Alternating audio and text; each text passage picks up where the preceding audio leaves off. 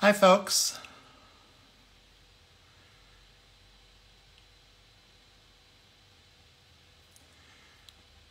Welcome to the Ask the Farmer, Ask the Flower Farmer live Q&A session. Um, my name's Dave Dowling, and I'm doing the takeover today for Lisa so she can have the day off. This is where basically we'll sit and talk for half an hour. You ask any questions you can think of, and I'll do my best to answer them.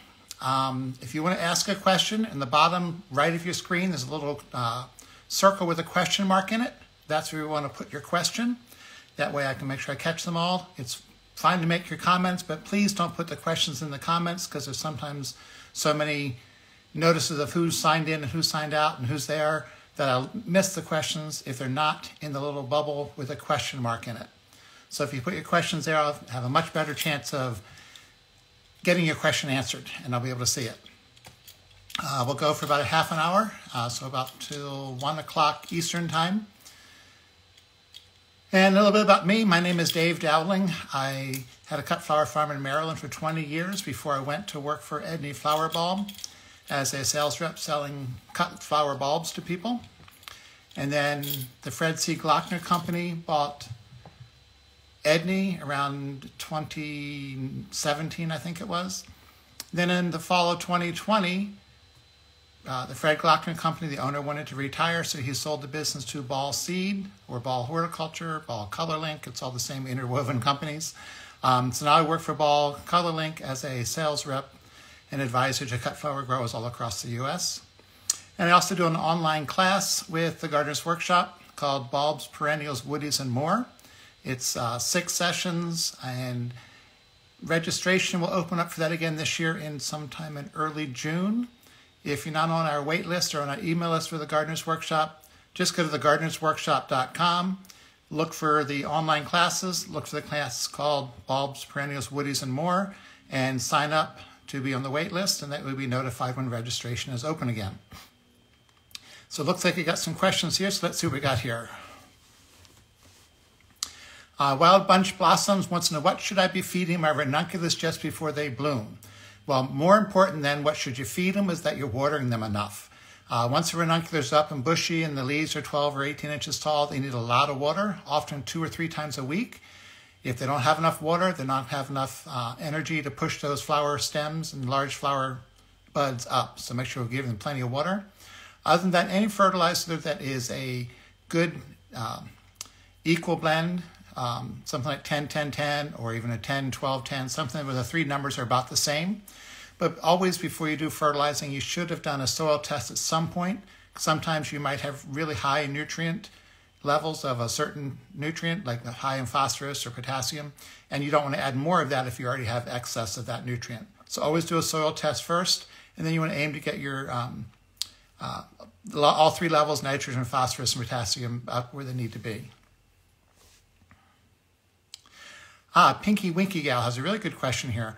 Um, do coated seeds need to be used the first year purchased, or will they last a few years?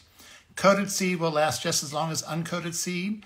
And what coated seed is, is where basically the seed companies add a, a film on them so they're, um, they flow better, they don't stick together.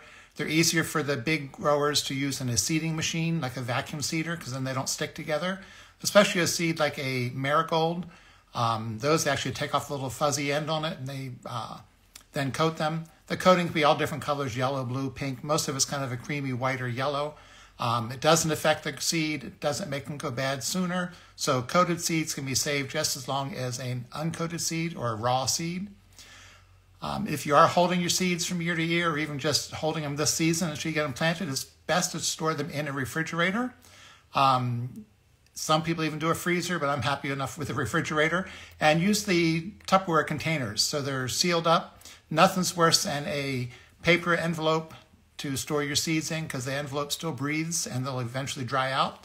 So you try and lock any moisture that's in those seeds into the package so they don't dry out and dehydrate and lose their vigor. One thing that with uh, taking refrigerated seeds out or cold seeds out of the refrigerator is you don't want to take that cold package and walk into a warm tunnel or greenhouse or even a humid house and open it up because it's just like a glass of iced tea. They're going to get condensation on the seeds and then you've got uh, moisture in the seeds that you don't want in the whole package because you're not most likely not planting all of them at once. So if going to be using seeds that have been in the refrigerator, take them out, let them warm up to room temperature, and then open the package up and use them. Um, Hill, Hill House wants to know how long do you keep cut sunnies in the cooler?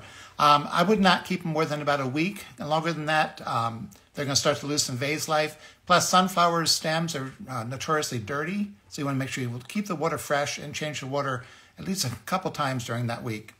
Um, but with sunflowers, the most important thing is to pick them at the right stage, which is where you got your flower like this and there's just one petal starting to lift up. You never want to pick a sunflower that's totally fully open in the field because you've lost a couple days with the vase life. Not to mention you're most likely going to damage those petals by transporting them, putting them in a bucket, and carrying them around. So,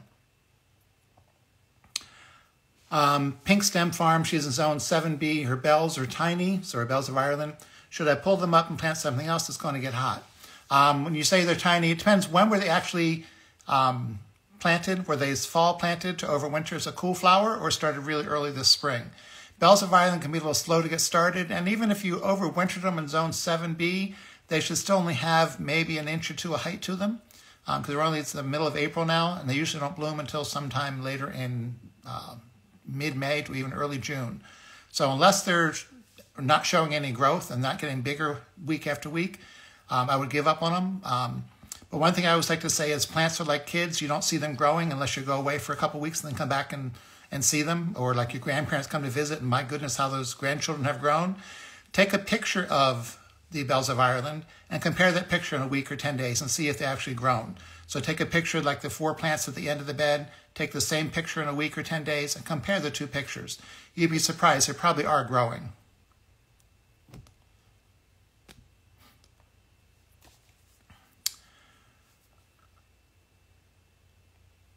Um, Marie is saying some of her Madame Butterfly, see that went away. Hang on a second. There you go. Some of her Madame Butterfly snapdragons have three sets of leaves instead of true, including the true leaves. Appreciate input. Do you know if they will develop normal leaves or should I remove these plants? Not quite sure what you mean. Um, you got three sets of leaves instead of two. As long as the top is still growing, they should be fine. Um, and even if they just have two sets of leaves and the top dies, they'll still branch out. So I would not um, remove them yet. And like I said about the last one, take a picture and compare the picture in 10 days or two weeks and see if they're changing. But most likely, if it's still early in the season, um, they should grow and be fine. And K Twigs says, I believe I have a bacterial fungus issue in my hoop house. Ranunculus stems are rotting and poor growth how to move forward to next season, remove all the soil or spray. Um, first thing you should do is if you can get a test done. That, that means pulling up some of the bad plants and some of the uh, surrounding soil. And it's usually your state university does soil and plant diagnostic tests and have it tested to see what bacteria or fungus you have. It may be something that easily treated, or it may be something that's just going to be there, and the only option is to remove the soil.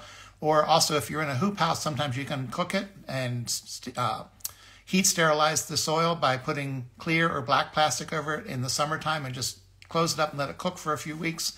And the soil temperature gets up, I think it's around 140 to 150 degrees. And that usually kills any soil pathogens that you do have. Um, it's important that you're watering with drip tape and not overhead. Um, so if you're doing overhead watering and you see brown or gray fuzzy mold, that's from really high humidity. Could be drip, water dripping off the ceiling at night. Um, you should always have good air movement in a tunnel or greenhouse, which means rolling up the sides, letting the air blow through. Oh, here's one from Harris Flower Farm, Janice up in Canada. I don't care about saving my lily bulbs. Could I pull them from the crate like I pull the tulips, making raised beds for the lily because I'm running out of bulb crates because they're full of picked tulips? Yeah, if you're not going to save your lily bulbs, you could pull them when you harvest them, but most likely they're not going to pull because they got a really massive root system to where if you were to try and pull the bulb, it's not going to come up.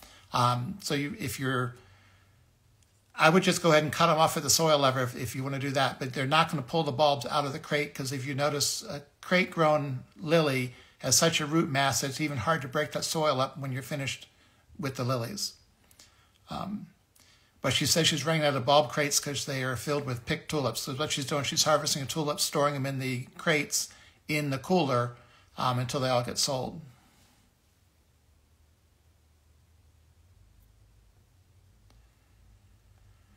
Uh, Seed Life Farm. What is the maximum amount of time celosia seedlings can stay in the tray? I'll be planting them in a hoop house. Um, celosia seedlings are pretty quick to grow, especially if you have warm weather um, or warm growing areas. Um, you know, they want 70 degrees to germinate, and then if it stays at 70 degrees 24 hours a day, they're going to grow fast and be ready to transplant out in about three to four weeks at the most. The worst thing you do is leave celosia to be root bound in a plug tray because then it's going to stress it.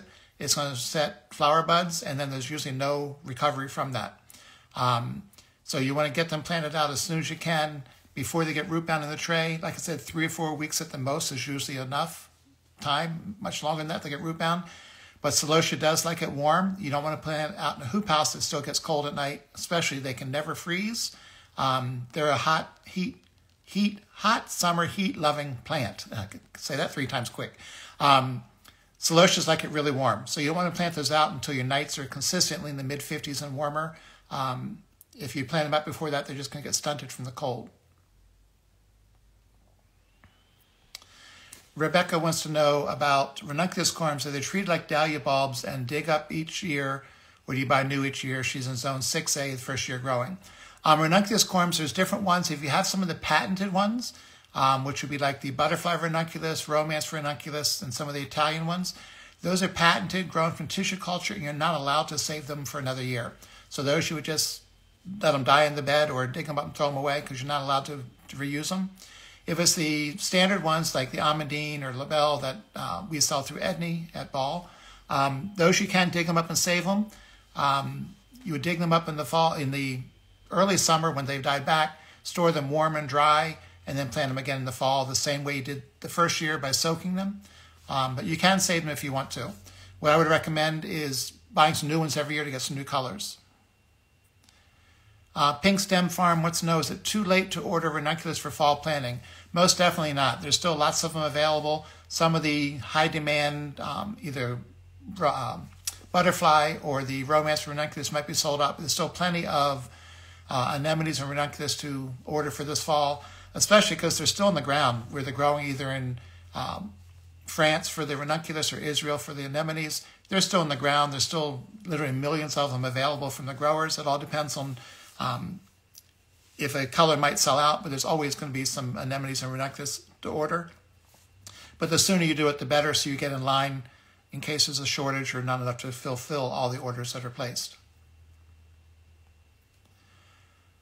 Um, earth and seeds, crates are full of planted tulips. What next best option for tulip cooler storage with bulbs on, if not in crates?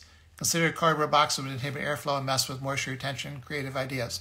Um, so it sounds like you're growing the um, tulips in crates, and you don't have any empty crates to store your tulips in the cooler as you harvest them. Because um, you know you want to harvest your tulips as soon as they show the color, get them in the cooler to basically stop them in the tracks so they don't get any more uh, ready and they don't bloom anymore until you actually take them out and sell them. Um, but I want to know what's the best option for cooling storage in the cooler uh, with the bulbs if they're not in the crate. Um, now, the cardboard boxes would be fine. Um, just leave the tops open. Um, you know, you don't have to close the top off. Um, another thing that works really great if you have recycling in your neighborhood, just the recycling bins, those also work. It's just basically just something, a, a tote to hold and carry the bulbs or the flowers in. But if you put them in any kind of container, just make sure the top is open for air circulation. Uh, Chris says, crazy warm weather a few days this week in Iowa, highs in the 70s, 80s with the lows in the 50s. Ranunculus in a hoop house and just got my shade cloth on, supposed to cool down by the weekend. Will this affect the growth since they don't like the warm weather? Um, well, Chris, it's really important that um, once growing ranunculus in a high tunnel, once the weather is above freezing at night, you don't close the tunnel at all. So in those days, it was 70s and 80s, it should have been open 24 hours a day so that it really cools off at night. Um, you know, a lows in the 50s is going to cool it off. It's the warm soil that's going to um, cause the ranunculus to shut down and stop growing and go dormant. So as long as you can keep that soil cool, they'll keep growing. Um, two things to remember. It's always, if you're growing on any kind of fabric or plastic, to use white plastic because the black will actually increase the soil temperature. White keeps it cooler. And also something a lot of people don't think about is if when you go to irrigate, make sure the water is cold. Nothing's worse than if you have a hose that runs the length of the tunnels laying in the sun and it's, you know, 100 degrees temperature of that water and you water the ranunculus with that. So make sure you're always using cold water when you irrigate. Uh, you know, drain out the hot water from the supply line and make sure you're watering with cold water. But just a couple days in the 70s and 80s shouldn't have uh, affected them too much as long as you vented those days and still had to open at night to cool it. Uh, H. Moto Girl, I guess it says, um, put peony roots in containers last fall. They're coming up now. Should I plant them in their permanent home now or wait till fall? Definitely, if you can get them planted in a permanent place now, get them planted out in the field. Because the sooner they're in the field, the sooner they can get that bigger root system and um, just be a bigger, bulkier plant, possibly a year sooner. Um, growing a peony in a pot is fine if you're going to be selling as a potted plant, or if you obviously had to overwinter them because you couldn't get them planted last fall. But get them planted this spring, and you'll see uh, a much bigger plant than if you waited to um, plant them in the fall. Notice if you plant, take one of them, plant in the field, and put one right next to it in the pot, the one in the field is going to get much bigger than the ones that's still in the pot.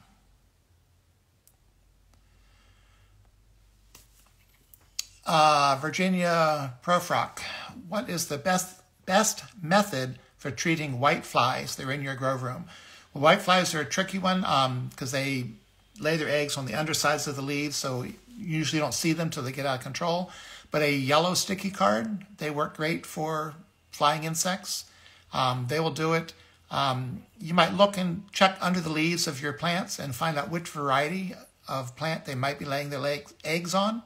Um, just like people, insects prefer certain plants for laying their eggs. You might find that they're all on your zinnias. So to get the zinnias out of the house and out of the grow room, that can make a big difference. So just check and see if you can find which leaves have the eggs on them, but then use a sticky card to catch the ones that are still there. You can always spray some kind of insecticide, but usually you don't want to be spraying stuff like that on little baby seedlings because they're really tender and sensitive to any kind of spray.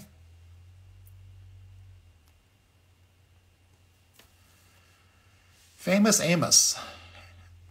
Um, can you tell us how to choose whether to move trays if light if 50% have germinated, but the ones that have shot up seem leggy? Yeah, as soon as um, you see any small percentage of your seedlings germinating, they should be moved to the light. Um, even the big plug growers, once they've got, you know, if they have a tray of 200 plugs and 10 of them are sprouted, they move them out of that dark area. If it was in a dark spot or in the um, germination chamber, they move it out to the growing area. Because um, nothing's worse than stretched plants. That's the worst thing you want.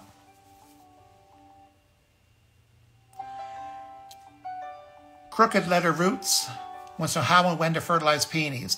I like to fertilize peonies now, this time of the year, um, early spring, just before they start to come out of the ground. And again in uh, late summer, um, late July, early August, because that's when they're developing their new eyes and stems for next year. So you want to make sure they're, they're well fed both those times. So do it in usually March and July. Um, again, you should always do a soil test just in case you're really high on one uh, nutrient and you don't want to be adding more of that. But any balanced fertilizer like 10 10 10 will work fine for peonies. Um, so, but do a soil test first, but then fertilize in March and July. And on the subject of peonies, it's always important to keep your um, peonies watered in July and August when they're making those new flower buds. It's so easy to pick them all in June when they're blooming, then forget about them because you're doing everything else on the farm and forget to water the peonies in the summer. But it's important to do that.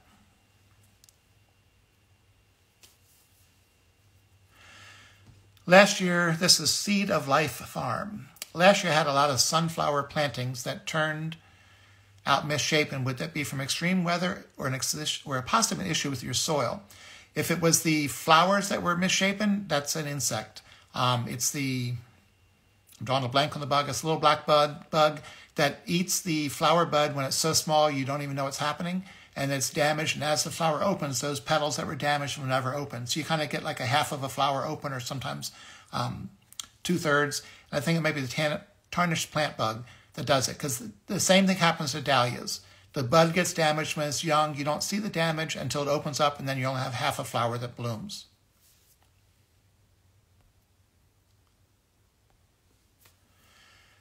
Flowers on the 5th. Um, how many weeks before first fall frost do I start pre-sprouting ranunculus corms? Um, I'm hoping you're planting them into a high tunnel. Um, I'm not sure where you're located because they're always best inside of a high tunnel, even if you're in zone eight or nine. Um, and then if you get colder zones, you almost have to do them in high tunnels. Um, they usually want to get them in the pl- planted in the tunnel about your last frost date. So figure about four to five weeks before that last frost date is when you want to start the soaking and pre-sprouting process. So you're planting out plants around your first frost date in the fall or even a week before. So they have time to get established before it gets cold.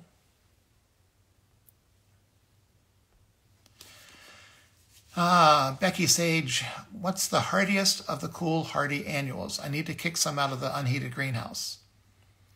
Not sure what you mean. Okay, so I'm, I'm thinking you've got some cold hardy annuals started. They're in the um, in the unheated greenhouse. You need more space. They have to go outside. Um, things like delphinium, if you got those started, um, larkspur, bachelor buttons, bells of Ireland, those all could be planted out now. The only thing is I would make sure that you protect them if you're taking them outside and planting them, then you get a hard freeze. By hard freeze, I mean something 30, 29 or 30 degrees or colder. Um, just put some row cover over them. Um, but yeah, pretty much any of the cold hardy annuals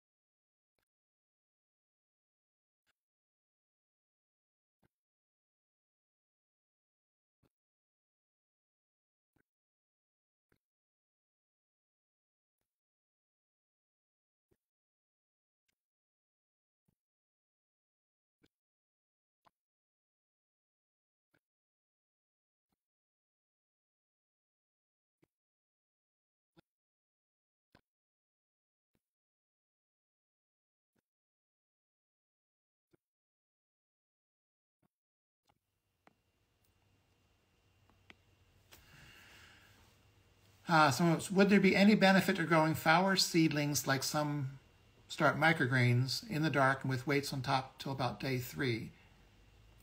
They say it will help strengthen the stems. Would it help with flowers? I, I've never heard of growing things with a weight on top of them in the dark with microgreens.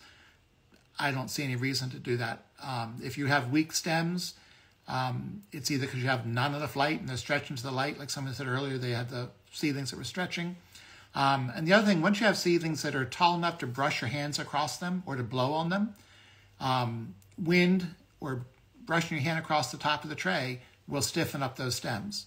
So I would do that way before I start growing in the dark with weights on top of them. Because then you're going to get a stretched stem, which some are growing microgreens are fine with a stretched weak stem because they're going to harvest it when it's three inches tall and sell it. You're trying to grow a, a plant that's going to be three feet tall so I would rather see them grown in full light, blow on them, rub them with your hands to stiffen them up that way. Extra, extraordinary choices. Nice screen name. My purple sensation alliums are much smaller this year in year two. I'm wondering what I should do to keep blooms larger next season. I doubt the need dividing soon. Yeah, the alliums hardly ever need to be divided. Um, it could be that they um, didn't get enough water and you probably didn't fertilize them last year. So depending where you're at, you probably have the leaves just starting to show and have flowers sometime in late May. Make sure they're getting fertilized, and after you harvest the flower, make sure the plants are watered and cared for until they go dormant. Um, that's when they're regenerating the bulb for the next year. Harmony and blooms. How do you deal with aphids and thrips? They start to show on my ranunculus. Some of my anemone petals have brown spots, so they cause me aphids. I have horticulture oil in hand, but don't know exactly how to apply it. Appreciate your expertise.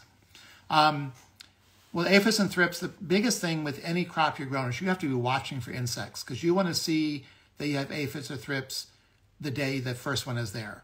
The worst thing to do is to not look closely at your flowers and your plants and find that they've been there for a month and they've taken over and you see that they're, you know, you look closely and there's just aphids all on the stems of the ranunculus or anemones but you should have caught it when you had two or three of them. Because when you find just two or three of them, sometimes you can just squish those with your finger, take that one flower, cut it, and throw it away, get it out of the tunnel or the growing area to get rid of them. Um, thrips are a tough one to control because they're so small. There are some predatory insects that you can get. Um, I don't remember the name off the top of my head. You'd have to look them up.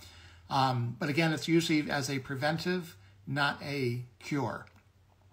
The horticulture oil will take care of the aphids. Um, it's basically following instructions in the bottle. It's you mix with water, usually warm water. It just mixes better, not hot water, but warm water.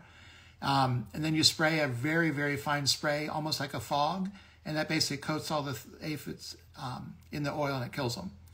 Um, but the thrips will do the same thing, but the thrips usually down in the flowers and really hard to control. Um, that's why it's best to keep a really close eye on it.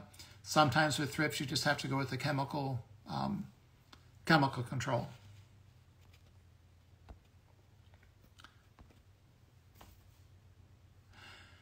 Um, Jason wants to know, can we repeat the previous answer on the short anemones?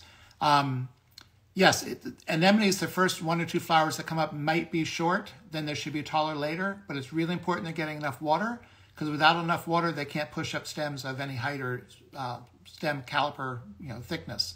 Um, and also you should have made sure you've been fertilizing your plants um, so they've got food to eat to produce those flowers.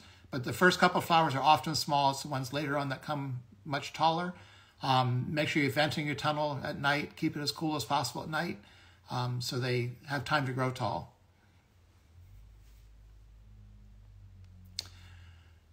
Uh, Steph is asking, my fall planted peonies keep growing about a foot, then dying, then another will shoot up and then die back. The stems turn black and bend over and snap off. Any idea? Any idea if these will recover? If there were brand new peonies planted last fall, it's possible that that eye that came up didn't have much root on it. Um, it's really hard to tell without seeing the root that you planted. But sometimes a peony will put up some, you know, you get a, a three to five eye peony, it'll put up five stems, and one of those stems just turns black and dies. It's often because that section of root that that eye was on didn't have enough root to maintain that stem that came up. Um, your plants will most likely recover and be okay as long as it's not some kind of fungal problem. So if just a few of them here and there doing it, I wouldn't worry about it. If it's the entire bed, then I would worry about it possibly having some kind of fungus problem.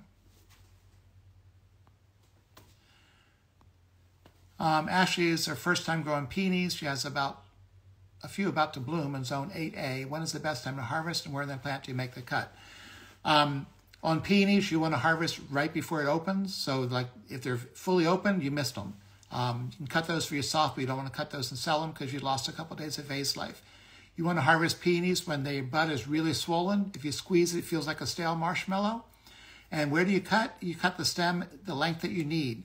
The worst thing you do is cut it at the ground and then cut off the last 18 inches so you don't need it. Usually start at the flower, go down, it's usually two or three leaves, cut right above a leaf, because the more leaves you leave on the plant, the bigger and better that plant will be next year. So cut it when the peony bud is still closed but about to open, nice soft marshmallow feel, and cut just above a leaf but on no longer than you need it.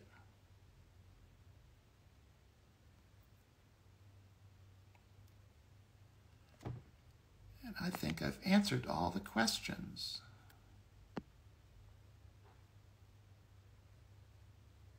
Well, that's really convenient because it's one o'clock. Um, I hope I answered everybody's questions. Again, this is a weekly thing with the Gardener's Workshop every Wednesday at 12.30 Eastern Time. They Ask a Flower Farmer. It rotates through some different um, guest hosts, I guess you call us. And Lisa Ziegler's also often here herself. Um, again, I'll have the online class I do with the Gardener's Workshop. Registration will be in June. If you're not on our wait list or email list, go to thegardenersworkshop.com and sign up there. Thegardenersworkshop.com, I'm sure you already know, is full of lots of great information, videos, tutorials, handouts, all kinds of stuff you can just go and read for free to find out how to be a better cut flower farmer. So thanks everybody for joining, and y'all have a great day.